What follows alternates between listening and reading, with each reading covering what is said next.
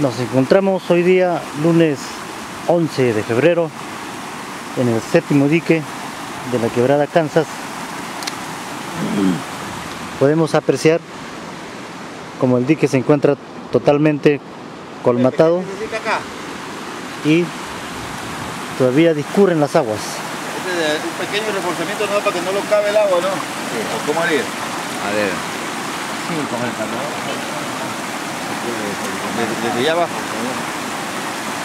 Material en esa ¿no?